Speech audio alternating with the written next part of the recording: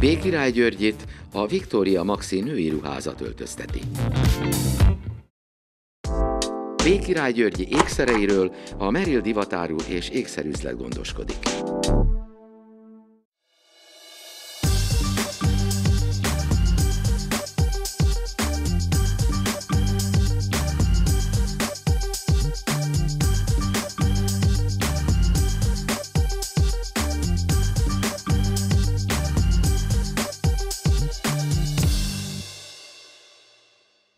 Köszöntöm nézőinket, egy szomorú hírrel kezdem. Magyarországon évi 4100 durván, majd itt a szakember, aki velem szemben ül, megmondja, ha tévedek, szóval évi 4100 lábat amputálnak, tehát mondhatom, hogy évi 4100 láb végzi a kukában, amivel mi tulajdonképpen európai, az európai toplistán első helyen állunk, ami szándékosan mondtam azt, hogy egy szomorú hír.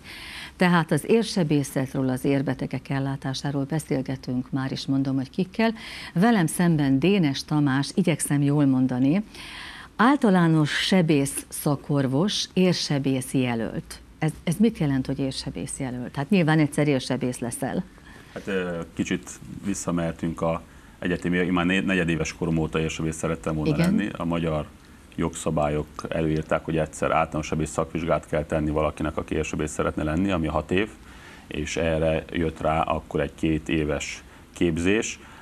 Én már 2012-ben az általános sebész szakvizsgát megszereztem 2012 év végén, de egyéb más egészségügyi érdekvédő tevékenység kapcsán mostani őszig húzódik Igen. ez a szakvizsgálat. Tehát akkor ősszel lester. Hát nagyon remélem, hogyha professzorok így akarják. Világos. Na most azért folyton beléd a szót, mert mondom, hogy kik ülnek még itt velünk.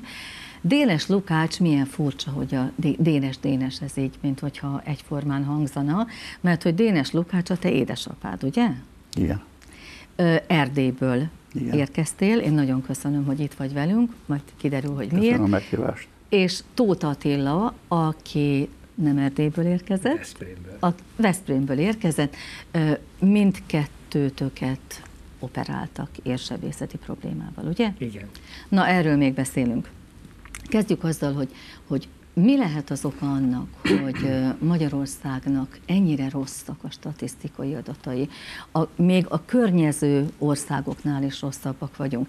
Elsősorban életvezetési problémák, nem járunk szűrésre, rossz az egészségtudatosságunk, nem figyelünk oda, nem mozgunk, szóval életmódbeli problémákkal kell nekem az érszőkölet kialakulását modellezni és összehozni első körben?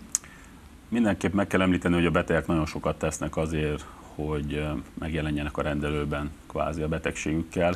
Tehát 10-ből 8 beteg, én úgy szoktam mondani, hogy saját maga telt a betegségéről. Édesapám például Na, hosszú-hosszú akartam kérdezni, hogy ő ezek közé tartozott, édesapád? elmeri mondani, akkor elmondja, hogy végül is hogyan szokott le, mert én vele is legalább olyan határozottan mondhatnám, keményen bántam, mint általában betegén, mert olyan tekintetben, hogy próbálom őket felvilágosítani arról, hogy ők nagyon sokat tehetnek azért, hogy ne legyenek betegek, vagy legalább a betegséget aztán kordában tudjuk tartani, és ne ez a szomorú szám nőjön, hogy 4100, úgy szoktuk mondani, nem akarom mutatni a kedves nézőket, hogy major amputáció, ami azt jelenti, hogy lábszár vagy combszintű amputáció, mert ezen kívül még van vagy 3000. még ezt akartam kérdezni. Uh, nem uh, úgynevezett major amputáció, és igen, ebben Tehát mi akkor a végtag amputáció az 7000, ha, ha jól értem, csak nem az egész lábra kell gondolni. Igen, igen, igen, igen, de ez a, ez a 4100, ez ami igen durva, ami két-háromszoros az Európa átlagnak, de, de visszatérve, igen, ez egy életmódbeli probléma, de például Attila, ő mindig sportolt, még, még 70 éves korában is találkoztam vele az edzőteremben, lehet, hogy még, még mostanában is. Ő, ő, ő nála nyilván, annak ellenére, hogy dohányzott korábban, de mégiscsak, mégiscsak próbált vigyázni az egészségére, és mégis kés alá, kés alá került, tehát azért az ellátórendszernek van tekintetben mégiscsak vannak hiányosságai, hogy aki bekerül, nem mindig tudjuk megmenteni őket, mert nem kerül be például időbe. Igen, be- beszélünk még erről, csak most, most, most először az életmódbeli okokat szeretném végigfuttatni, illetve ha megengedett, kérdezlek még, de most édesapádat kérdezem, ugye mondta Tamás, hogy az ő édes drága jó apukája az láncdohányos volt. Na most neked azért olyan szakmád, vagy hivatásod, vagy nem tudom, hogy mondjam, volt Erdélyben, te, te polgármester voltál, ugye? Ami azért nem olyan nagyon könnyű arra felé. Hát két, én voltam az első választott polgármester Krasznán, két ciklusban, tehát négy évig, négy, négy évig, és még egyszer négy évig voltam polgármester. Tehát nyolc év. Azelőtt, igen, nyolc év, azelőtt oktatómesterként, vagyis uh-huh. azt hiszem, itt úgy mondják, hogy műhelytanár dolgoztam egy liceumba, uh-huh. polgármesterségem után visszamentem még egy néhány évig. Az életvitel talán... A stressz miatt? Miért dohányoztál annyit? Hát szerintem nem mondhatom, olyan stresszes életem volt. Családi életem tökéletes volt, munkahelyemet szerettem, körzetemmel semmi problémám nem volt, egy ilyen megszokás dolog, nem is fogtam fel, hogy mit csinálok alapjaibe. Hát és a fiad csomagnyi, nem mondta, hogy mit csinálsz? Hát akkor még nem mondta, később ja, mondtam, mondta. megmondom, mit mondott. Na. Két csomagnyi sima kárpácsit, ami szűrő nélküli kapadohányt jelent, körülbelül a munkáknak, Naponta? vagy, vagy minek felelt itt meg Magyarországon. Azt naponta? Naponta annyit elfüstöltem. És aztán a leszokás nagyon Na, várjál, egyszerű volt. Az, hány, hány szál cigi az a, az, az a két doboz? darab, 20-20 van egy csomagba, szűrő nélkül. Tehát jó óránként erős. kettő, azt tuti. Hát, ha elosztjuk 24 Ja, ja hát nem is aludt. Persze, éjszaka az ember alszik, akkor, akkor többet kell szívni, amikor fönn vagy. És a leszokás nagyon egyszerű volt. Azt mondta a háziorvosom, Tamás, apu, mi barátok vagyunk, de ha te még egyszer meglátom, hogy cigarettát veszel a kezedbe, én a lábadra többet rá nem nézek. És olyan egyszerű volt utána abba hagyni, alapjában kicsit bosszantott egy jó darabig, de Na most közben megnézem a puskát, mert Tamás küldött nekem, és akkor itt van, hogy a, a, az édesapjának egyszer volt a jobb lábon érműtét elzáródás miatt, bal lábon érműtét beültetett műérbe gyulladt ki kellett venni, stentek a csípőverőérbe, és stent beültetés a szívbe. Hát ez őrület, tehát a, a, a, ami ered van, ott neked mind volt probléma? Hát, toldva, foldva van. Hála, hála, hála Istennek, úgy látszik, az, ember, az isteni gondviselés segített, hogy nem vagyok most teljesen láb nélkül, lábak nélkül tolószékben. Lehetnél, gondolod, hogy lehetnél? kényelmes fotelbe, de úgy gondolom, hogy hála Istennek, tehát az isteni gondviselés, hogy megáldotta az érsebészeket a Jóisten tudással, hogy nem csak lábat levágni, vagyis amputálni tudnak, hanem meggyógyítani is. Hát és mekkora mázlista vagy, hogy pont a fiad foglalkozik Hát biztos másokat is meggyógyítanak ilyen módon, de de. Ak- ak- akkor nézzük Tóth Attila esetét. Nálad azért egy kicsit más volt, mint Lukácsnál, ugye? Igen, hát a cigaretta az 30 évvel ezelőtt abba maradt, egy rövid ideig tartott akkor is, csak előtte sportoltam aktívan, Aha. azért nem, aztán később rászoktam egy nehezebb időszakomban, tanultam, családom lett, gyerek lett, tehát sok minden összeadódott, és akkor egy pár éven keresztül dohányoztam, és nagyon-nagyon nehezen jöttem le róla. Tulajdonképpen azt kellett mondom, hogy honlaptól nem, előtte minden mást megpróbáltam, és úgy nem ment, és honlaptól nem, ez a dolog bevált. De ez nem tudom mennyire van összefüggésben a dolgokkal, hát az én problémám Bocsánatot ott kérek, te, te is úgy hagytad abba, hogy letetted, és annyi? Igen. Megfenyegette a fia. Megfenyegetett az Igen, csak ugye és... vannak olyanok, akik azt mondják, hogy már most kevesebbet szív, és akkor ma tízzel kevesebbet holnap. Tehát, hogy ne, nem ezt a módszert választom. Azelőtt próbálkoztam ezzel a módszert, meg uh-huh. beosztottam magamnak csak öt darab, egyet Na, reggel a kávénál, délbe egyet, az nem megy, azt le kell tenni, uh-huh. és mondják nálunk, legyen uh-huh. ambiciód és hagyd abba.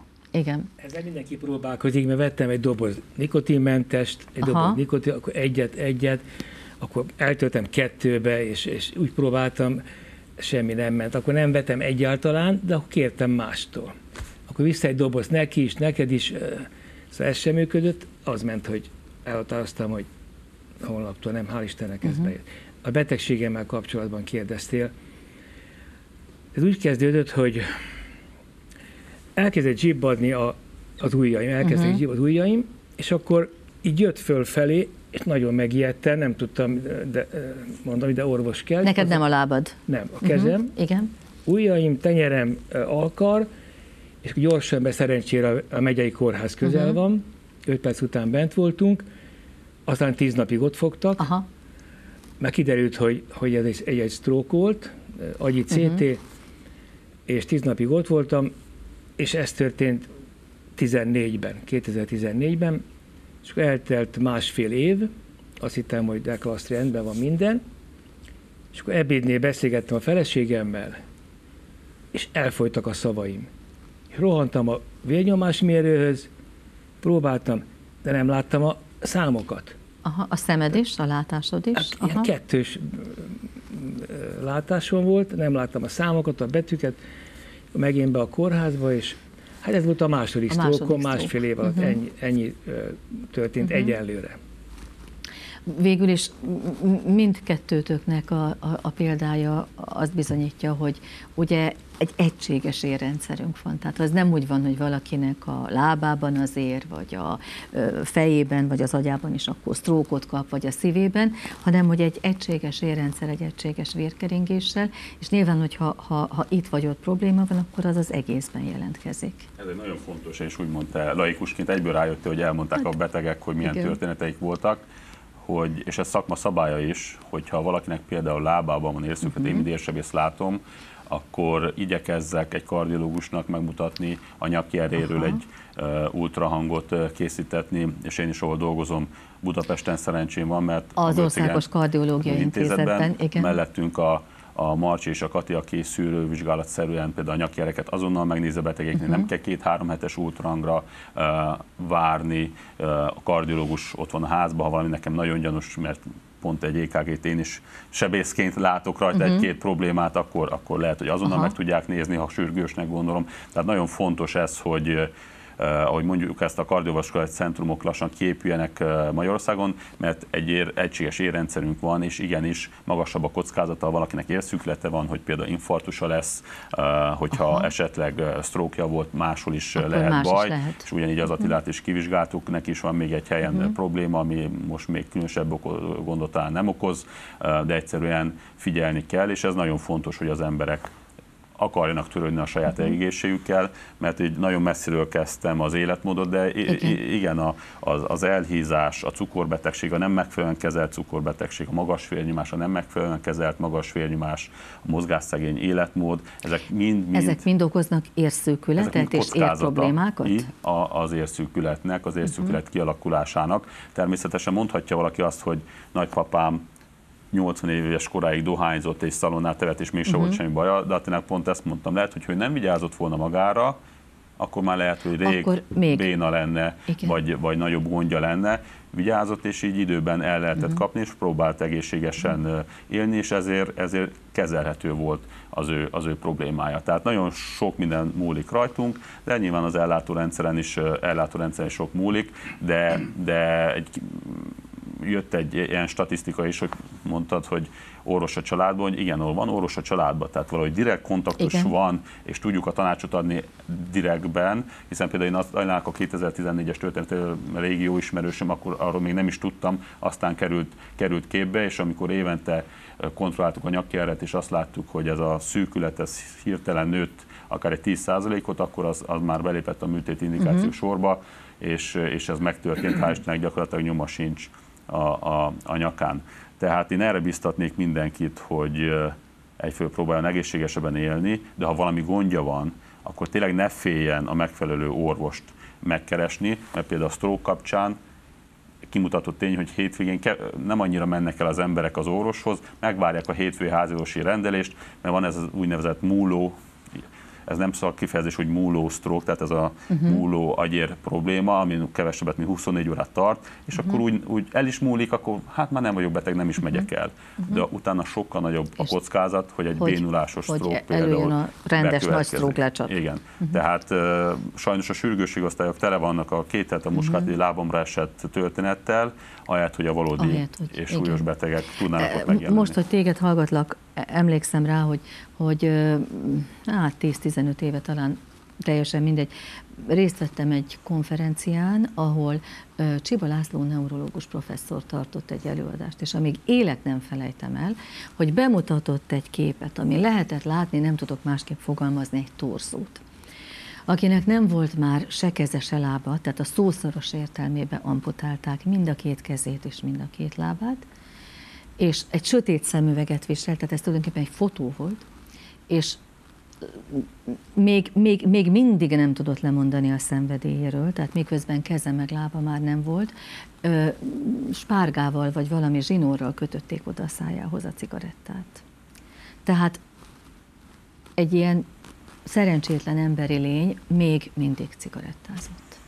Ezzel mi is küzdünk, de megmondom őszintén, ez a módszer, amit édesapámnál is alkalmaztam, néha beválik a rendelőben is. Azt mondják sokan kollégám is, hogy fölösleges ez a határozott magatartás a dohányzással kapcsolatban. Szerintem meg nem, mert jönnek úgy vissza betegen boldogan újság, hogy uh-huh. doktor képzel, már két hete nem szívom, mert én ezt így megszok, úgy megijesztem őket természetes, természetes, ez nem igaz, remélem nem sok szóval, betegen fogja szó, látni. Szóval, ta, Tamás, te azt mondod, hogy, hogy sokkolom a beteget. Én azt szoktam mondani, és persze ezt nem tehetni meg, és nem is teszem meg, ha dohányzik, ne jöjjön vissza a kontrollra. Aha. Akkor, akkor most belepakoltunk mondjuk 1 millió forint értékű stentet, műtétet, energiát. És ezt hiszen, ő lerombolja 0 20 alatt? Én úgy gondolom, hogy felelősséget tartozunk, hogy van egy, van egy közfinanszírozott egészségügyünk, egy szolidaritás alapú egészségügyünk, és igenis van felelősségünk ebben. Meg hát a, és ne figyelj már, hát a saját családommal szemben is van felelősségem, hogy ne, ne, ne nekik kelljen majd, miközben a nyálamat csorgatom ellátni, vagy tisztába tenni, ha egyszer én képes vagyok arra, hogy megváltoztassam az életemet. Hát ez így van, de ez nagyon nehéz a szenvedélyekről lemondani, a komfortzónákból kilépni, elmenni Igen. egy 20 perces sétára, futásra. Úgy látszik, hogy ez nagyon nehéz, miközben kimutatott tény alsó végtag érszüklet kapcsán, hogy az úgynevezett járásgyakorlat. Tehát, hogy mondjuk elmegyek naponta tudatosan egy közepes tempóval legalább 30 percig, vagy ameddig bírja a lábam, és erőltetem szó szerint. Tehát használom. használom, az legalább annyit jelent, mint a gyógyszereket szedném. Tehát ez egy kvázi egy terápia, Aha. fontos terápia, hogy használni kell, sétálni kell, um, és, és még egyszer mondom, meg kell akarni gyógyulni ahhoz, hogy meggyógyuljunk. Ti egyébként változtattatok az életmódotokon, miután kiderült, hogy érbetegségeitek vannak? Hát én ha egyszer a cigarettát abba hagytam. Hát egy. Az már egy változtatás, Kettő, igen. Azt mondta nekem a, a doktor, hogy apu, te csak dolgozzál, véget, miért nem sportolok, viszont nagyon sokat mozgok és dolgozok. Végre kiélhetem a hobbimat. Szőlőzkedtetek, Aha. gyümölcsöt termesztek, bort készítek. Tehát akkor fizikai munkát végzel? Igen, fizikai munkát. Aha. Ha van időm, akkor gyalog sétálok fel a pincémhez a szőlőhegyre. Igaz, bottal kell menjek, de nem a műtétek miatt, hanem a tér porckopások miatt. Uh-huh. A az érsebészeti dolgok szerintem nagyon jól sikerültek, mert észre sem veszem, hogy valamikor a lábamat műtötték. Ha nem fájna a térdem, talán tökéletes lábaim lennének. Apukád jól csinálja, hogy mozog? Természetesen, természetesen jól csinálja, mozog. Nyilván az életmódváltáshoz anyukám is kellett, aki próbál úgy főzni, meg Aha. mégis úgy intézni a, a napumenit, ami nem feltétlenül látszik a, a, a BM-in, az úgynevezett Body Max Indexen, mert annak ellenére nyilván jól főz, de ez nagyon fontos, hogy például, hogyha van magas vérnyomás, az a sót kerüljük, nyilván a, a, a hagyományos erdélyi étrend, vagy magyaros étrend azért az nem zsírszegény, azért meg kell egy, próbálni egy kicsit odafigyelni hmm. ezekre a dolgokra, és nyilván egy egész család tud vigyázni az adott betegre, és ez nagyon fontos egy, egy ilyen támogató családi közeg, hmm. ahhoz, hogy sikert érjünk el, de, de ő egy szerencsés példa, amikor mondtad, hogy hozzak két érbeteget, jaj, mondom, kit hozzak, hát nem is Honnan tudok, szedjél érbeteget? És akkor hát de, de igen, de igen, de igen hát az szerencsére sajnos, sajnos van, mint úgymond sok küzdelem árán, de mégis sikerként uh-huh. ők és nem csak az érsebésznek ez a sikere, ezt azért hadd mondjam el, hiszen ez mindig egy csapatmunka, mert tényleg a stenteket mondjuk uh-huh. az mhm. intervenciós radiológus rakta be, most már szerencsére az érsebésznek is lehetőség van, de abban az időben ez még fogalmazok nem Na de divat. szabad ne felejtsd, édesapád jó beteg, mert ő miután... Nem, nagyon rossz beteg amúgy, de... Rossz beteg? De, de Na, most, de most, visel, mondtad most el, jól viselkedik, figyelj már, hát most mondtad el, hogy ő mondta, hogy nem dohányzik, hogy mozog, igen, de ez, Akkor, ez káz, kvázi ez a harmadik igaz? műtét körül volt már ez. Ja, ja, ja értem. Tehát, hogy, hogy, tehát azért hogy, el, elmondanám, hogy, hogy ez a nem dohányzik, ez új volt, tehát ez egy ilyen szépen hangzó történet, de igen. ez már régóta ment, hogy ne dohányozz, mert nem foglalkozok veled, és mikor lett a bal lábában egy úgynevezett trombózis, tehát hirtelen lecsökkent a járástávolsága 20 méterre, ugye ez is egy fontos üzenet, Aha. zárójel kinyitva, érsebészeti szűrés. Mindenki álljon fel, ha ezt a műsort megnézi a székből, és Igen. sétáljon 500 métert közepes tempóba és ha nem képes elmenni 500 métert megállás neki bármiért, és nem azért, mert piros a lámpa, hanem bármiért, mert a melkasa nem bírja, a térde nem bírja, a lába kezd fájni, a melkasa kezd fájni, akkor menjen el a háziorvoshoz, mert akkor valami gond van. Ma Attila itt van 8, Na, ez hány éves nagyon vagy fontos. Attila? 78 78. amit egyfőle nem mondanék meg, de hogy tényleg hány évet találkoztunk Veszprémbe az edző, tehát hogy, hogy e- el kell tudni egy embernek menni 500 métert mondjuk megállás nélkül, és azt nem tudja, akkor menjen a házassághoz, mert valami gondja valamiével van. Zárójel bezárva. Ez nagyon jó, hogy mondtad. Meg, hogy még, fölív, még ráadásul meg is ismételted. 20 méter tud, hát mondom, akkor, akkor, akkor gyere, mert valami, valami gond van. Népliketbe jött föl a, a, egy ilyen mikrobusszal, és nem látta, hogy én már rég le vagyok parkolva, és még azért rágyújtott ott a várakozás Hoppá. közben a 20 Hoppá. méteres járás távolságával. Hoppá. Na és akkori befekvés után aztán úgy emlékszem én, hogy sikerült leszokni a dohányzásról, amikor tényleg megijedt, hogy, hogy, hogy itt a lábát hogy is gondolom én elveszítheti, mhm. mert sokat küzdöttünk ezzel, és, és így történt. Tehát én ezt tudom, hogy nagyon nehéz, uh-huh. és mindig mondom a betegeimnek is, hogy próbálnak házorvosni érdeklődni, mert most már vannak erre programok, hogy segítsék az embereket a leszokáshoz, hiszen ez egy szenvedély. Igen. A szenvedélybetegségtől megszabadulni egyedül nehéz. Uh, és van gyógyszeres terápia, és uh, sorolhatnám. Uh, az, hogy mennyire olcsó ez, tehát hogy van-e rajta támogatás, uh-huh. azt mhm. nem tudom. Legutóbb, mikor néztem, például voltak ilyen eszközök, gyógyszerek, amire nem volt, de, de mégiscsak uh-huh. el kell menni a háziorvoshoz, és nyilván minden nagyobb az igény, talán akkor kialakul erre is egy, uh-huh. egy közfinanszírozó támogatás, hogy le tudjunk szokni a dohányzásról segítséggel. A, a, amit mondtál, ez a házi orvosi szűrés, ez nagyon fontos, tehát hogy, hogy, hogy akkor erre tényleg fontos odafigyelni mindenkinek, hogy tudok menni 500 métert, vagy nem tudok, és ahogyan mondtad, ha nem tudok, akkor baj van. Te hogyan változtattad meg az életmódodat, amikor kiderült, hogy hát jön a sztrók, megy a sztrók? Kiderült, hogy 70%-os a nyaki szűkületem, uh-huh. akkor vettem fel igazán a, a, a baráti kapcsolatot az orvosommal. Ez már a két epizód után volt gyakorlatilag. Igen, már két, két a sztrókot nevezitek epizódnak. Uh, hát két, tiája volt szerintem Igen. a És akkor az a a, a, a kisebbik az a tia, ugye? Az a nem olyan nagy. A második az talán 24 órán belül uh-huh. múlt, akkor csak ilyen szakmai dolgon nem feltétlenül megyünk be, de, de igen, igen, tehát ugye nem járt bénulással, Aha. nem volt maradvány tünet az nem. Mert ugye bent voltam 15 percen belül a megyei kórházban, és az, az, az, az időfaktor óriási, számít, óriási e, ilyen szempontból. én is tudom, hogy számít, igen. Egyik, egyik e, érdekességében hadd had mondjam el, hogy egyik betegtársam a kórházi szobában e, nem szólalt meg két-három napig, és utána tudtuk meg tőle nagy nehezen, egy-két órán belül tudta elmesélni azt a három-öt mondatot, hogy ő, neki hajnalban ö, kezdett zsibbadni a keze, Igen. aztán belealudt, és elment Hoppá. dolgozni, Hoppá. És mire behozták a mentők... És jól túllépett délelőtt, a terápiás időablakán, ahogy kell. Behozták 9-10 óra körül a, a mentővel, akkor már se beszélni, Semmi. se menni. Uh-huh. Tehát ilyen fontos időfaktor. Aha. Tehát teljesen lebénult. Világos. Na visszatérve hozzám, tehát 70%-os állapotban elmentem a ultrahang, Igen. elmentem a doktorúhoz konzultálni. Azt mondta, hát ez már a határeset a műtét uh-huh. környékén, de próbáljuk meg gyógyszeresen ezt kezelni. Eltelt egy év, és utána ebből 70-ben 80 százalék lett. Gyógyszerek ellenére. Uh-huh. És akkor volt egy érdekes beszélgetésünk, felhívtam a Tamás telefonon, hogy itt tartunk, Most akkor mit, mi, mi a véleményed? Uh-huh. A gondom ott volt, hogy se a fejem nem fájt, kérdezték mindig, se nem szédültem, tehát semmi Aha. olyan nem volt, hogy most aztán meg kéne műteni. És mondta Tamás, hogy hát van egy ilyen verzió is, hogy, hogy nem nyúlunk hozzá, ezt nem javasolnám. Van egy stentes megoldás, beültetve uh-huh. ezt a de, um, hálót, de az később problémát okozhat. És akkor mondtam, hogy hát mi a te véleményed? És amikor azt mondta, ez telefon, tehát döntenem kellett elég gyorsan, mondja telefonban, hogy az édesapámnak is azt javasolnám, hogy műtét. Uh-huh. És akkor mondtam azt, akkor döntöttem. Uh-huh. Akkor döntöttem. Életmódomban nem változtattam, mert megszoktuk. Nem dohányoztál, azt mondtad? 30 éve nem dohányzom. Tehát, és sportolsz még ma is? Igen, hát konditerembe megyek háromszor, és úszni megyek a hétvégén egyszer igen. vagy kétszer. Aha, hát akkor nem Úgy igazán ez... volt mind változtatni. És Aha. hát azon kellene, hogy az étkezésem, mert a feleségem az nagyon jól főz, Aha. és nagyon szereti a húst, Hát mert, nem mert látom azt a sok-sok plusz kilót rajtad. Vénás, de hál' Istennek úgy látszik az én szervezetem ezt, ezeket feldolgozza, és ha nem beszéltem még az édességről, Aha. aminek meg hát a függ, függ, függ, függője vagyok.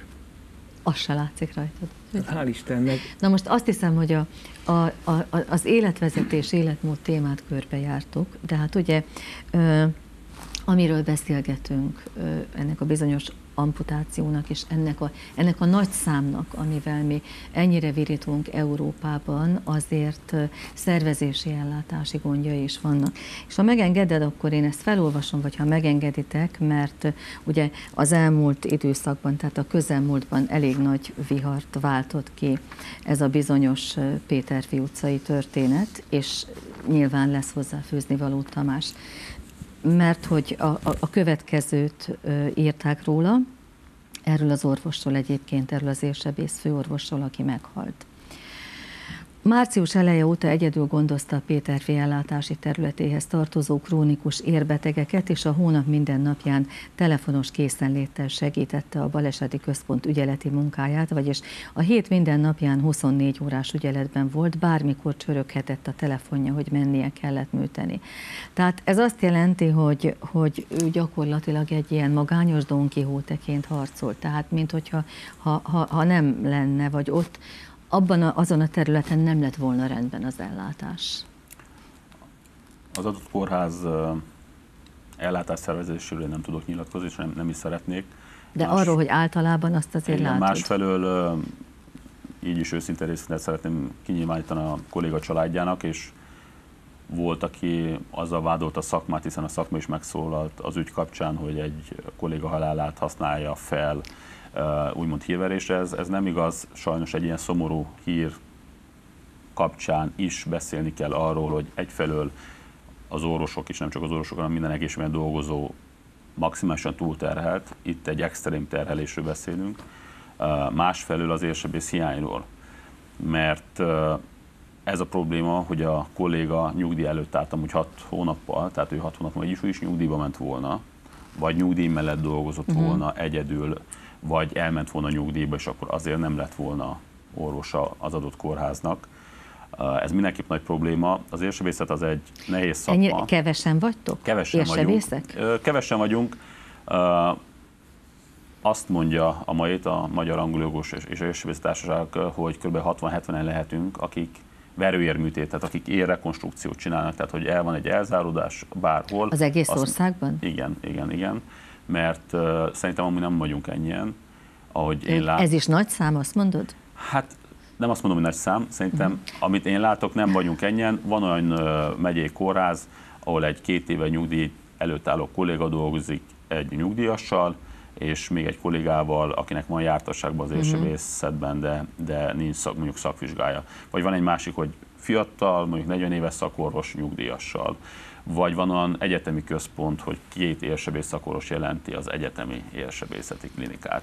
Tehát, és, és ezt, ezt lehetne sorolni, ez egy, egyfelől egy nehéz szakma, Nincs utánpótlás, külföldre nincs. mentek? Mi, mi, nincs, nem, nem miért ez a helyzet? Ez egy szűk szakma, például az érsebészet gyakorlat két hét, maximum egy hónap az egyetemi évek alatt, tehát nem is tudnak találkozni feltétlenül szerintem a hallgatók az érsebészetnek a szépségeivel, vagy az érrelátás szépségeivel. Sokszor csak azt látják, hogy, bocsánat, hogy ezt mondom, rohadó lábú betegeket amputálni, ami nyilván nem igaz, de egy egyhetes vagy kéthetes gyakorlat alapján mélyebben ugye nem lehet ebben bele, bele kapcsolódni, és most már elsőnek választható szakvizsgálat, tehát nem úgy van, mint az én időmben, hogy elkezdtem a sebészetet, uh-huh és akkor van abban három hónap érsebészet is, és aki nem eleve érsebész akart lenni, lehet, hogy megszereti, ha egyáltalán elengedik az érsebészet gyakorlatára, csak úgy halkan jegyzem meg.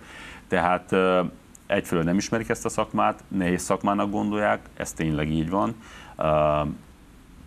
Minimum mondjuk azt, hogy egy órás műtéttől az öt órás műtétig, ugye ez rendszeres, nem úgy van, hogy megoperálok egy sérműtétet 30 perc alatt, bocsánat, ezt mondom, utána elteszem a borítékot, és Igen. jól élek a mi betegünk nem hálapénzes betegek, mondom én ezt, aki 2009 óta nem fogadok el hálapénzt. Igen, te ennek az élharcosa vagy a... kapcsán igen. tudtam megoldani, hogy ezt megtegyem, tehát ez nem feltétlenül ilyen erkölcsi diadal, hogy, uh-huh. hogy most nem azt mondom, hogy luxusautóval járok, de, de nem, nem, nem uh, szegény sorban élek, az mert nem fogadok el állapést, hanem elmentem külföldre, és így oldottam meg. Most pedig Magyarországon is, is sikerült megtalálni a, a lehetőségeket. Fogalmazza ki. Dolgoztál Angliában, megnéztem igen, a, igen, igen, az élettörténetedet. De az eredeti probléma nincs elég érsebész, előregedett a szakma, és hiába próbálkoztunk, bár ez nem egy szakmapolitikai műsor, de, de tényleg évek óta segítő szándékkal minden államtitkárnak elmondani, hogy mi a probléma, mi a probléma, valahogy a levágott lábak sosem ütötték át az inger küszöböt, meg kell, hogy mondjam őszintén, és az érsebész helyzet sem. Most elindult valami, ez, hogy a Götzigen Kardai Intézetben egy új érsebészet osztály alakult, ez egy kicsit úgy felkavart az állóvizet, szakmán belül is. Tehát van, akkor aki... nálatok van érsebészeti osztály? Van egy éve. Aha. És ez csak azért alakult, mert a Délpesti Kórházból nyugdíjba mentek az érsebészek. És akkor kvázi Andrétka Péter főigazgatónak talán így ki volt adva uh-huh. a lehetőség, hogy akkor egy érsebészeti uh-huh. osztályt kell csinálni, és át kell venni a területet. Tehát egy picit komolyabban és előrébb gondolva kellene a, az érsebészet helyzetével foglalkozni, ezt megtették, uh-huh. kértek a szakmát egy javaslatot, én úgy tudom, ben van egy ilyen javaslat, a centrumokkal kapcsolatban is, népegési program kapcsán is. Az a kérdés, hogy ebből mi fog megvalósulni és milyen gyorsan. Az a probléma, hogy az adott kolléga helyzete mutatja, hogy sokkal gyorsabban kell cselekedni, mint hogy szokott általában Aha. a politika, szakmapolitika, hogy tervezgetünk, mm, szép lassan teszünk, veszünk, az érsebészet kapcsán ki kell jelölni a centrumokat, tudjuk, hogy most 16 hely lesz Magyarországon, akkor oda kell három szakoros, három szakoros előtt három rezidens, az azt jelenti 9 óros hányan vagyunk, akkor hány embert kell beterelni, seb, tehát hogy akár egy kampányt kell a rezidensek vagy a hallgatók körében, miért nem lehetne imásfilmet csinálni az érsebészetről, lehetne. Szerintem ez egy nagyon-nagyon uh-huh. izgalmas szakma, annak ellenére, hogy nehéz. De én láttam Angliában, hogy lehet ezt úgy csinálni, hogy nem kell, bocsánat, hogy ezt mondom, belehalni. Tehát ott kényelmes, nyugodt életet tudtak élni, mert olyan volt a, a szervezés, úgy volt megszervezve a, a, a napi program, a heti program, az ügyeleti beosztás, hogy normális polgári életet tudtak élni. Ha már Angliát szóba hoztad, akkor muszáj ezt most megkérdeznem, hogy ugye te ott nem, nem, nem, nem műtéti technika ez, meg nem is műtéti gyakorlat.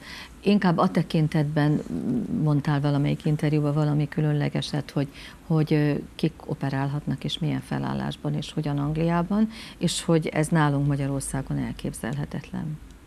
Mármint, hogy a fiatal és az idős, tehát a, a, a kezdő meg az öreg róka kapcsolata című történet. Ezt már 2010-ben is tapasztaltam, hogy egy szakvizsga előtt vagy egy szakorvos előttnek mindent leasszisztált az idősebb, tehát tanította rászánta az időt, nem tudom, hogy erre gondoltál-e. Igen, hogy, hogy, hogy, hogy úgy operáltak, hogy a fiatal operál, és a tapasztalt mondjuk főorvos asszisztál neki. Igen, igen, igen. És, és nem számított, hogy a műtétidő kicsit vagy akár többet megnyúlt, mert nem nyilván a következő alkalommal már rövidebb volt, mert ezt tudta az idősebb tapasztalt kolléga, minél gyorsabban megtanítja a fiatal kollégát, neki annál kevesebb dolga van, mert ott a főorsok kvázi úgymond a háttérben vannak, és akkor avatkoznak be, ha baj van, vagy ha igazán komoly műtétet Aha. kell végezni. Most nem kell általánosítani, de, de, de, de mégiscsak ez volt a, a napi rutin, én ezt láttam. Mert ügyeletben a főorvos elérhető volt, a fiatal szakorvos akár elkezdte a műtétet, ne Isten gondba került, akkor, akkor bejött a konzultáns és folytatta, és a konzultáns azt szerette volna elérni, a, a főorvosi szint, hogy minél kevesebb hívják be, tehát minél jobban meg kell tanítsam a fiatal uh-huh. kollégát. Uh-huh. A hálapénz ennek pont az pont ellenkezőjére ellenkezője. motiválta az elmúlt Igen. évtizedekben a rendszert, és ennek isszuk most a levét. Pont. Igen. Ezt kell, hogy mondjam. E... Tehát, hogy, hogy mikor azt mondják, hogy miért keverjük mindenbe bele a állapénzt, azért, mert ez egy perverz motiváció, hogy nem én találtam ki ezt a szót, hanem talán még Szócska Miklós volt államtitkár használta ezt a jelzőt, ez egy perverz motiváció, és egy rendszer akkor működik jól, ha megfelelő ösztönzők, motivációk vannak benne, hogy kvázi önjáróvá váljon, uh-huh. mindenki érdekelt legyen abban, hogy jól uh-huh. működjön. És azt mondod, hogy ez pedig a fogaskereket itt és ott is, amott is megakasztja. Tehát, hogy ez akár mindenhol. merre nézünk, ez találkozunk mind, a, a rossz hatásával, vagy a, a, a káros Igen. hatásával. Igen. Ti, ti egyébként most nyilván azt gondolom, hogy a, a te helyzeted, most, most javítsatok ki, ha rosszul mondom, hogy, hogy azért némiképp kivételezett volt, mert a, a, a fiad azért mégiscsak érsebész jelölt, tehát ne, nem mondom azt, hogy érsebész ah. egyelőre, de hát szóval azt gondolom, hogy, hogy jó dolog vagy, vagy, vagy nagy dolog a rendszerben azok közé tartozni, vagy azok közé kerülni, akinek nem vészel a lába, hogy akkor most ilyen erősen fogalmazzak. Jó, én például elképzelem, mint mondtam az előbb, nagyon nem jó lenne, ha tolószékbe ülnék hát lábak hát nélkül, vagy itt ülök a fotelbe és Persze. jó lábakkal, jobban mondva használható lábakkal. Használható, igen. használható lábakkal. Az első műtét 20 évvel ezelőtt történt. Uh-huh. Azzal sincs semmi probléma. Úgy látszik, ott is tudással megáldott uh, orvosok műtöttek Kolozsváron. Uh-huh. Még egy olyan régi vágású öreg professzor műtötte, aki még rendesen beszélt magyarul. Most hirtelen nem jut eszembe a neve. E, és jól sikerült Aha. a műtét. És mindig meg akartam Tamástól kérdezni, hogy ő első éves volt akkor, jól emlékszem az egyetemen, hogy vajon azért lett ő érsebész, én érsebésznek tartom, mert az én lábam Igen. megjavította, hogy még ő vizsgázik, remélem sikerül. Hát Ö. ez most már mi- mindjárt itt van az ősz. Ö, hogy azért lett érsebész, hogy már akkor kimutatódott, hogy szinte szimmetrikusan a másik térdemnél is van egy érszűkület, ami előre vetített, hogy valamikor ott is el fog dugulni az ér. Sose kérdeztem meg tőle, de gondolom, hogy csak az apára is gondolt, hogy ha majd szükség lesz, javítsam meg a lábát. És mondom, hála Istennek, megáldotta tudományjal az érsebészeket, hogy már nem csak amputálni tudnak, hanem lábakat javítani is. És, eh, mondjak el egy mondást. kérdésed, Ja? Ja, Na. nem, lehet, hogy tudat alatt ott volt, és így kerültem, Mhm. Lásd, amit mondtam én is példát, kapcsolatban az érsebészet szakmával, Mhm. hiszen első évesen már, amikor még az anatómia és a buli között nem tudjuk soha melyiket választani, hogy melyik a fontosabb, tehát még azért nem vagyunk orvosok, fogalmaz, akik finoman nem gondolkodunk feltétlenül a, a pályaválasztáson, de ugye már akkor én kapcsolatba kerültem az érsebészettel, és ez egy érdekes dolognak gondoltam, és lehet, hogy ez indított el az úton, de mindenképp én azt gondoltam negyedévesen, amikor ezt eldöntöttem, hogy ez egy olyan szakma, olyan hivatás az összes többi között, ami, ami engem majd le Egy fog kis tudni kötni így állatél, azt javaslom. le fog tudni kötni kvázi életem végig, és kihívásokkal teli, hát ez, ez így sikerült. Aztán az ember, hogy korosodik, meg, meg tapasztal, akkor a kívásokat már nem biztos, hogy annyira, annyira, annyira szereti, de az érsebészet, még egyszer mondom, szerintem az egy nagyon érdekes és izgalmas történet, ami még most is fejlődik, alakul át, ugye az úgynevezett stentelések, most- már nem csak a szívben, hanem a lábban is. Ezt akartam sokat mondani, hogy, hogy, hogy ugye már nem csak ezek a nagy nyitott műtétek vannak nálatok is, hanem a mindenféle intervencionális beavatkozások, amikor azt nem tudom, laparoszkóppal, pici vágással csináljátok? Mi nem hogyan? használunk Ti, nem, laparoszkópot. ti, ti mit használtok? mi egyszerűen uh, vagy megnyitjuk a, például van Igen. az úgynevezett hibrid műtét, akkor innen kezdem. A hibrid, mint ahogy az autóknál is, ugye, hogy Igen. van ilyen hajtáslánc, meg olyan olyan hajtá, is. elektromos és hagyományos. Igen. A hibrid az, hogy mégiscsak ejtünk egy sebet, mondjuk a lágyékhajlatban, és mondjuk a csípőverő eret megsztenteljük, a lágyékhajlatban meg kitakarítjuk hagyományos műtéti technikával az eret. Uh-huh. Ez, ez egy tipikus Tehát akkor kevered. műtét. Keveredik. Mert például még most hiába fejlődtek a stentek, a lágyékhajlatba nem szeretünk berakni stentet, mert nem jók az eredmények, ezért Mhm. azt ki kell, ha ott gond van, akkor azt kvázi ki kell, ki kell nyitni. Vagy van olyan, hogyha nem kell operálni, akkor csak egy bőrön keresztül Mhm. uh, egy, egyszer egy tű, a tűbe egy drót, a drótra rá egy műanyag cső, a műanyag csőben meg mindenféle katétereket és Katéter. stenteket lehet Aha. dugni képerősítő alatt, és itt is jön a kvázi szakma nehézsége, hogy egy nem tudom hány kilós olomköpenyt föl kell vegyünk magunkra ilyenkor, Az hiszen a, a képalkotó diagnosztika Hát miatt van? í- hát hogy igen, mert ott röntgensugár értéget folyamatosan a sugár. Folyamatosan egyfelől sugárban állunk, másfelől ott van rajtunk ez a köpeny, és hogyha hibrid műtétet csinálunk, akkor még rajtunk van a maszk, sapka, És az a hány kiló a köpeny? Ne, nem tudom, de annak ellenére, hogy nem tartom magam egy gyenge legénynek, azért egy pár órás műtét után, meg mikor hazamegyek, úgy érzem a testemben, hogy, hogy hoppá, tehát hogy azért itt volt egy terhelés, volt egy, volt egy sok, és akkor ezt mondjuk Mhm. évtizedeken keresztül csináljuk, nyilván, nyilván nem könnyű, és nagyon sok, és amúgy ügyes hölgy is választja akár az érsebészetet vagy sebészetet, és nyilván nekik ez még megterhelőbb lehet, de summa summarum igen, az érsebészet fejlődik, és ezek szerintem ezek az új technikák kifejezetten nem csak látványosak, hanem érdekesek lehetnek a fiatalabb korosztálynak. Én személy szerint szeretem, és, és örülök, hogy, hogy itt mondjuk Budapesten lehetőségünk van ebben fejlődni. és Téged ugye nem távolított el ez az ólomköpenyes dolog, de, de, de ha ez egyszer ilyen nehéz, tehát effektíve ilyen nehézségekkel jár ez a műtét, akkor, akkor az is lehet, hogy, hogy, hogy ez is benne van a kalapban, hogy kevesen választják? Vagy, vagy, vagy, vagy ez nem számít? Én nem vagyok szociológus, de, de az szerintem elmondható, hogy mindenki könnyen és gyorsan szeretne boldogulni. Igen. Ezt érthetjük a, akár a szakmai sikerekre, meg az anyagi, anyagi oldalára is. Az érsebészet nem biztos, hogy egy ilyen könnyű úttal kecsegtet.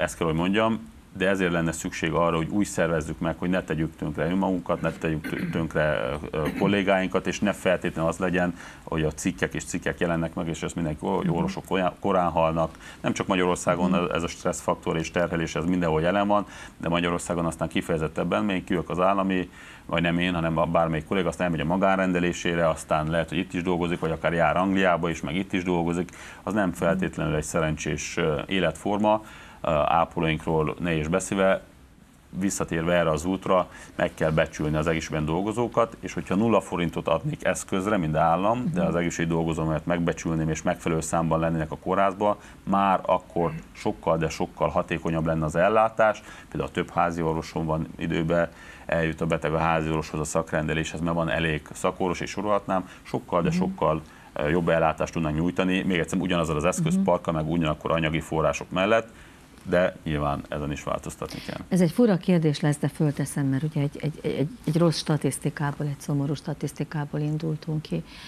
hogy és ugye elmondtátok már itt a, a, a két úr is, aki az érbeteg ellátásba így úgy amúgy belecsöppent, hogy mennyire fontosak az életmódbeli, az életvezetési dolgok, és hogy mennyire fontos, ezt meg ugye te mondtad el jószerével, mint szakember, magának a rendszernek, magának a szervezetnek a működése. És hát ugye a kérdés az, hogy, hogy előfordulhat-e, hogy mondjuk fölöslegesen amputálnak egy lábat a rendszerben. Tehát, hogy lehetne éppen stentelni, vagy lehetne éppen bármit tenni, de, de, de, de ezért vagy azért, vagy mert későn jelentkezik, nem tudom, a beteg félrecsúszik, és mondjuk amputálják a lábát.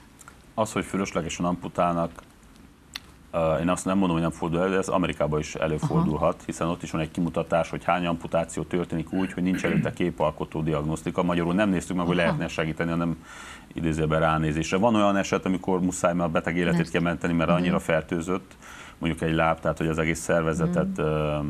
veszélyezteti, de ugye a szakmai társaságnak is ugye az a kérése, hogy valamilyen diagnosztika mindenképp történjen, mielőtt mm-hmm. egy kvázi amputáció megtörténik, mert lehet, hogy lehet segíteni.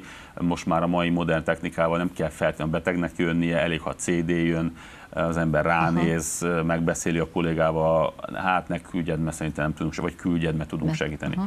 Tehát, hogy azért most már megvan a, a modern élet, sok hátrányjal jár, de sok, sok előnyel is, előfordulhat, de nem ezért vágunk le ennyi lábat, hanem azért, mert későn kerülnek a, a látókörünkben nekünk érsebészeknek. Tehát elkalódik a rendszerben. Nem megy el a, beteg... házi orvoshoz, ahogy mondtad, nem megy el szűrésre. Mondjuk azt, hogy elkalódik, lehet a beteg hibája, uh-huh. lehet a rendszer hibája. Uh, és sokszor én ezt számogattam annó még Veszprém, hogy mondjuk 15 betegből 8 biztos, hogy fölöslegesen jött a rendelésemre, mert uh, csípőjével volt gond, a gerincével volt gond, és azt egy nagyon egyszerű fizikális vizsgálata meg, hogy mondjam, a kolléga, aki beküldte, az megállapította volna, mert van egy tapintató pulzusa, amit azért már egyetemen tanítanak, akkor, akkor talán nem érsebészettel kellene kezdeni a egyértelműen lumbágóra uh-huh. utaló tünetes betegnek a kezelését, miközben az érsebészet rendelése több hónapos uh-huh. a, az előjegyzés. Tehát, hogy, hogy, hogy, de a beteg hogy megy be?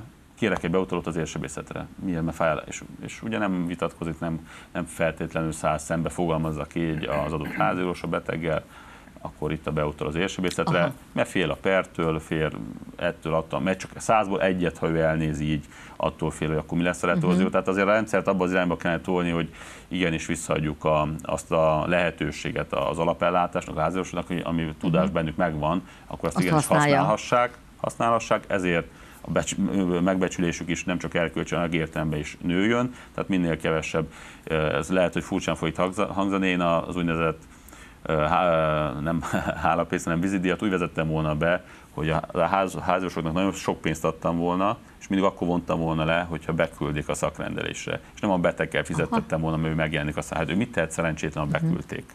Ugye ez egy amúgy teljesen rossz rendszer volt, nem csoda, hogy megbukott, de hogy így is, tehát sokféleképpen lehet ösztönözni az adott ellátórendszert, hogy jó irányba menjen.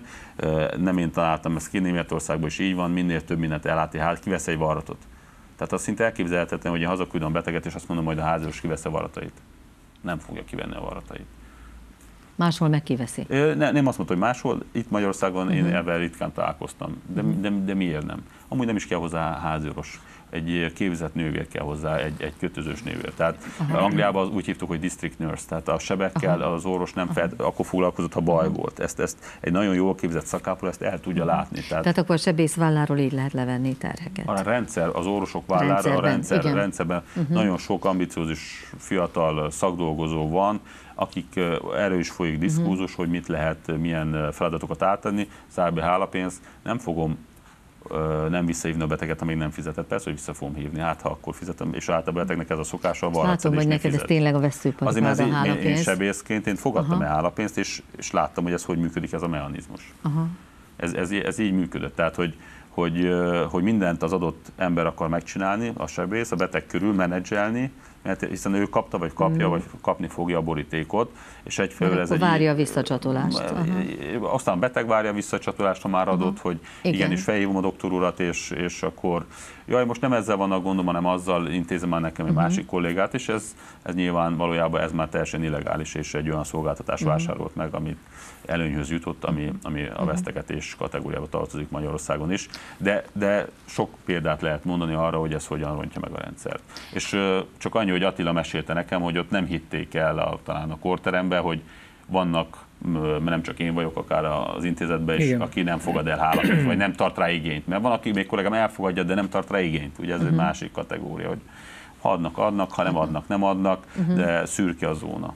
Uh-huh meglepődtem a Tamáson, amikor Igen. ugye évekkel korábban tudom, hogy a harcosa volt a hálapénzes ügyletnek, hálapénz ellenes volt nagyon. Ja, te, te ezt tudtad róla? Persze, hát, és, és elteltek az évek, és én most kerültem ugye a, az ő vonalába ismételten az érsebész problémám miatt, és mondtam a Tamásnak, hogy barátilag segíts már nekem, hogyan oldjam ezt a kérdést meg, tehát beszélgettünk róla, és sehogy. Mondom, de figyelj, hát a, ketten fogtok valószínű műteni, a másik na, semmi. Aha.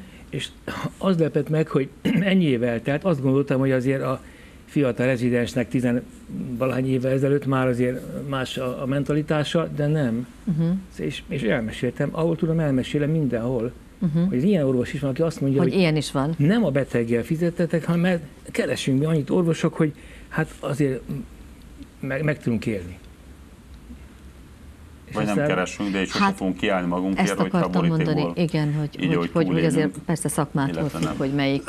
Nyilván egy radiológus az nem kap például, tehát hogy va, va, e- e- eleve például nincs állapénzes, tehát azért ez, ez nyilván egy, egy, egy bonyolult rendszer, Ez azt hiszem. Annyit, annyit még hagyd tegyek hozzá az előbbi gondolathoz, hogy Lukács eh, barátom említette, hogy... hogy ja, ti ismertétek egymást. Igen, említette, hogy az is eh, mondom barátaimnak ezt a mellettem levő két aha, urat, aha. mert sok-sok éves a kapcsolatunk, Igen. nem csak a konditeremből, hanem, hanem egyéb helyről is. Lényeg az, hogy Lukács mondta, hogy ő érsebésznek eh, tartja ezt az urat itt mellettünk. Hát most már mindjárt Ezt hivatalosan is lehet nagyon, mondani, nagyon azt hiszem. hozzá. Én eh, a dr. Dénes Tamás barátomat igenis annak tartom, az én nyaki főeremet úgy műtöttem meg, hogy azóta hál' Istennek semmi problémám nincsen és ez neki köszönhetem, és ezúttal is megtettem el ezen a fórumon is. Na most Köszönöm. az ugye nyilvánvalóvá vált, gondolom ezt Tamás tudja, és hogy most azt be is zsebelte ezt a köszönetet, hogy... Amit köszönök szépen, zárójel kinyitva. Te is köszönöd, igen. Ez is egy fontos kérdés, hogy nyilván milyen, milyen feladatokat bízunk egy úgynevezett jelöltre, mindegy, hogy milyen mhm. szakterületen.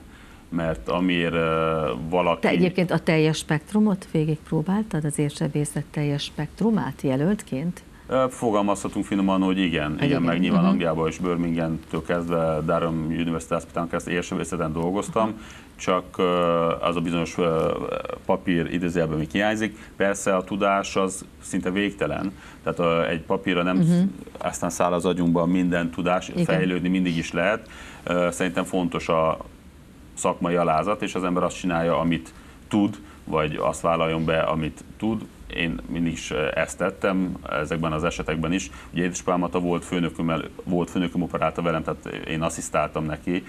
Sokan mondták, hogy hogy voltál képes a saját édesapád műtétjen ott lenni, hát mondom, ki akarná neki a legjobbat, ha nem én. Ha nem a fia. Uh-huh. És persze mindig van hiba, hibázhatunk, meg szövődmény, és nála is volt, de mi a legjobb tudásunkat adtunk, és azt gondolom, hogy nem, nem, időzően nem rajtunk múlok. Tehát ezt, ezt, ezt a, szerintem ezt nehéz a, főleg a sebészetbe fővállalni ezt a felelősséget, hogy, hogy mi statisztikákkal dolgozunk, hogy 100-ból 90 műtét jó, vagy például az ilyen érműtéteknél 3% alatt, nyakérni 3% alatt kell legyen a stroke, ami a műtét alatt történik.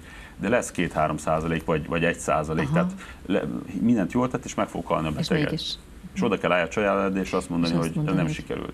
Annak uh-huh. a családnak az volt az egyetlen műtét. Meg az egyetlen szerette, vagy lehet, az hogy az van a fejében, hogy, hogy most mi történhetett, vagy mi nem történhetett. Ez egy, ez egy nagyon, nagyon nehéz kérdés, hogy ezt idézőben hogyan dolgozunk uh-huh. fel, és hogy miért vállalok be ismerősöket. Mondtam azért, mert egyfelől én fogok rá vigyázni a legjobban, uh-huh. persze történt probléma, az egy örök keresztje lesz az embernek, vagy nagyon nehéz lesz ezen, ezen túllépni, de, de, de ha meg nem csinálom, és másiknál lesz szövődmény, akkor meg lehet az merül fel, hogy talán mégiscsak nekem kellett volna csinálni, mert nem tudom. Vészesen fogynak a perceink. Fogynak? Nektek szeretnék föltenni egy-egy kérdést, hogy, hogy mit üzentek azoknak, akik most minket megnéztek? Mert hogy Tamás mit üzent, az, az most már itt eléggé kiderült, meg átjött ebben a műsorban. Hát én azt üzenném, hogy mint ahogy mondta Tamás, hogy mindenkinek lehet érdugulása, de a dohányzás és a, a nem megfelelő életmód biztos nagyon sokat pótol hozzához az esélyhez, amely alapjában mindenkinél megvan, hogy eldugor egy erre valahol. De ha két csomag szűrő nélküli cigarettát szível egy nap, akkor az biztos, hogy el fognak dugulni az erejé. És nagyon említették itt, hogy ilyen komplex kezelést kaptam én Veszprémbe. Közben vagy négy-öt beavatkozáson mentem át, és legvégül Egy jött a van. gyógytornásznő. Én nem tudtam a lábam, uh-huh. minden rendben volt, begyógyultak a sebek, nem tudtam a lábam mozgatni. És két nap alatt a gyógytornásznővel elindultam Mankóval. Tehát Aztán fontos a gyógytornász, meg a rehabilitáció. A is fontos. Tehát egy, ott Veszprémbe figyeltem meg, hogy nekem volt vagy öt beavatkozás. Egyszer itt piszkityáltak. Ammo, Muszáj Attilának is mondani tudják. valamit, mert lejárt az időnk. Te mit üzensz Attila? Én, én nagyon röviden próbálom összefoglalni. Azt gondolom, az étkezés és a mozgás, és forduljanak, ha mégis baj van, dr. Dénes Tamáshoz. hát, hát, hát, azért azt nem gondolom, hogy hát, mindenki, mert akkor mi lesz szegény Dénes Tamással, ha mindenki hozzáfordul. Igen, nem. Minden esetre én nagyon köszönöm, hogy itt voltatok végül is az életvezetéstől kezdve a hálapénzig, az érbetegségekig, az ellátásig, sok mindenről beszélgettünk, én nagyon remélem, hogy megérte velünk tartani. Nektek köszönöm, hogy itt voltatok, önöknek köszönöm, hogyha velünk tartottak viszontlátásra.